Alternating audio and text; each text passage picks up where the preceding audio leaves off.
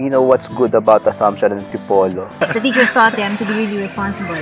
They are more guided to to correct themselves and they come out as better people in the process. They have these values of simplicity, fidelity to duty, and joyful service. I really think that Assumption prepared us and uh, really honed us. It taught me how to become humble, to have the courage to work for the truth.